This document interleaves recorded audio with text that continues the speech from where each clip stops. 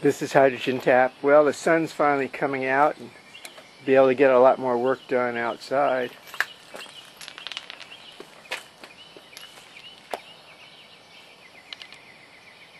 There's the focus again. And I'm loose again. I guess I'm going to have to re-evaluate the seal system. And that's loose also. What really burns me up is I'm losing the hydrogen that way. And uh, it's really a simple fix. I'm just not going to play with the seal once I get it in here again. I'm just going to glue the top to the bottom, take it apart when I need to. I can get another kind of seal. I know that'll work for this, but I just don't have time to fool around with it. And uh, the cell is working so well anyway that I don't have to get into it right away. So uh, what I'm going to do is take it out today and uh, we're going to go through a post-mortem. Going to take it apart and examine the cell and see how it's reacting or what it's done. Everything else seems to be fine. So I'll be taking it apart in the lab and uh, take it piece by piece and we'll examine it. Uh, I can I can see that the water in there is kind of a rusty looking but it's not the same kind of garbage that uh, we found when we used tap water and it's very very light. It doesn't really hurt it at all. I'm not worried about that. Everything else obviously is working fine so what I'll be doing today is taking it out although I hate to lose some mileage on the car. Uh, it's getting so I'm laughing at everybody else as they go by. I go by the gas station and they have to go in the gas station.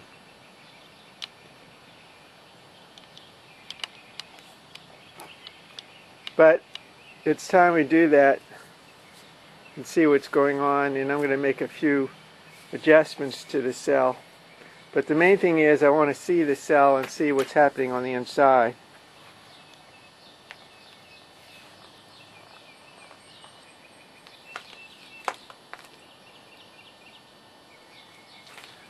One thing I want to take a look at while we're out here is the inside of the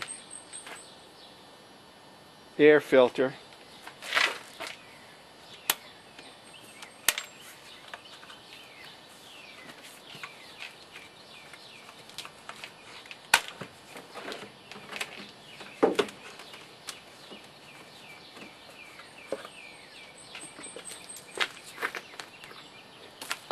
And take a quick look at that.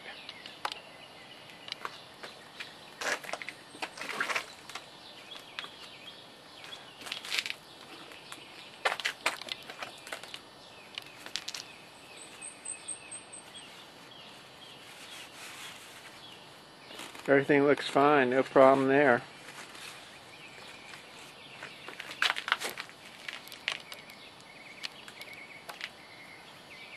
What we're looking at here is the air intake, the butterfly there.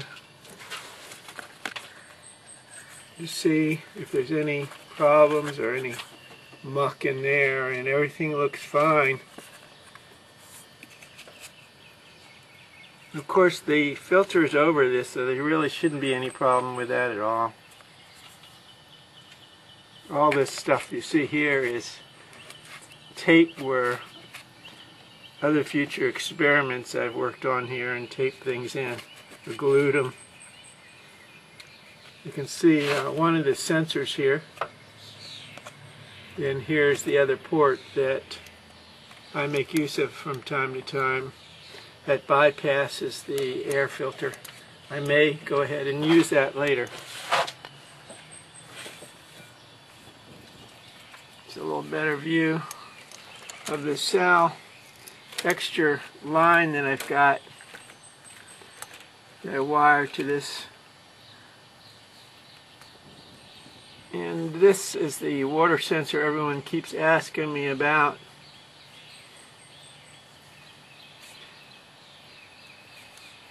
So essentially what I'm doing is I'm measuring voltage between this sensor or the screw here which touches the water in the positive end of the battery. If there's water in there the electrolyte makes a conducting bridge across and that goes to my relay which turns on the green light. When that doesn't happen the relay opens up and I get a red light. This is where my fill port one thing I want you to notice on the Focus cells now that I'm shipping I have a port that's this angle and one up and the reason for that is that when you close the hood on the car or wherever you put it putting this hose to it is hard coming up from the top. So all my new focus cells have the angle on one of them and the straight up on the other there'll be some modifications from now now and again Everything else looks just fine. No leaks, no anything, everything. Focus cell is working really great. I'm very pleased with it.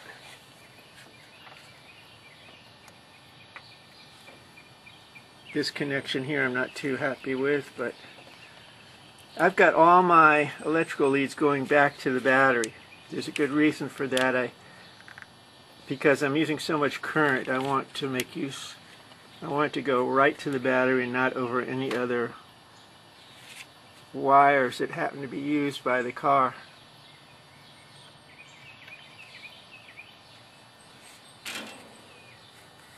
One of the things, or one of the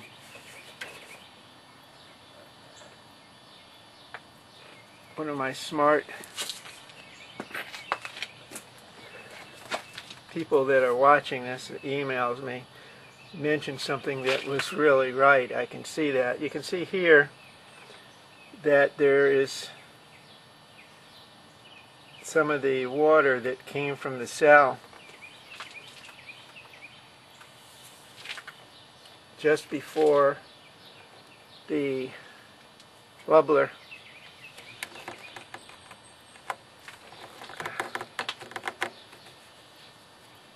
and that is because there's a drain factor in here. When you turn it off if, if the if it's hot then the water gets sucked back up this tube back and forth is what's going on. It doesn't affect anything. Uh, what's happening is in the bubbler gets gets some of the